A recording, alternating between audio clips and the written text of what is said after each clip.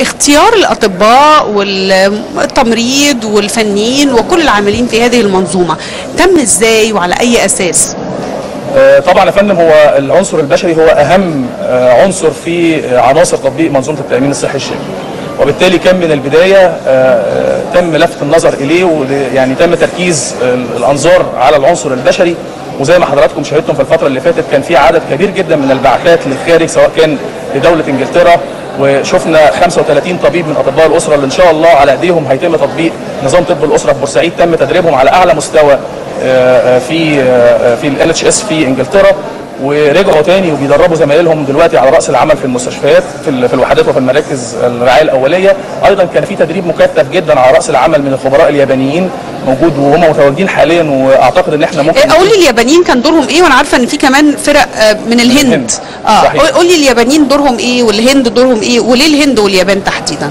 طبعا الهند آه، يعني أو الشركة الاستشارية آه، ال- الكبيرة جدا اللي كانت مشاركة معانا في التدريب على رأس العمل وتقييم النظم ال- ال- طب الأسرة ونقل الخبرات الهندية في طب الأسرة هي شركة شهيرة واشتغلت في أكثر من دولة وطبقت نظام طب الأسرة في أكثر من دولة وكان التطبيق ده كان تطبيق ناجح وبالتالي تم الاستعانة بيها علشان في الوحدات والمراكز. المراكز آه. الرعاية الأولية عشان تقدر تحقق حاجة اسمها ال operational excellency أو ال- التميز في تقديم الخدمات في الوحدات ال- والمراكز الرعاية الأولية باعتبار إن الوحدات والمراكز هي البوابة الأساسية للحصول على الخدمة في النظام الجديد. ممتاز. أما مجموعه الخبراء اليابانيين فكان ده بالتعاون مع منظمه الجايكا وهؤلاء الخبراء كان دورهم الرئيسي نقل نظم الجودة لأنها طبعا اليابان مشهورة جدا بال- بالجودة وبأنظمة الجودة وبالتوافق مع معايير الجودة وبالتالي كان دورهم الأساسي في هذه المنظومة هو مراجعة الأنظمة والسياسات والإجراءات والتدريب على رأس العمل على نظم الجودة علشان نوصل في النهاية أيضا إلى ال operational excellency كمان في المستشفيات. وبالتالي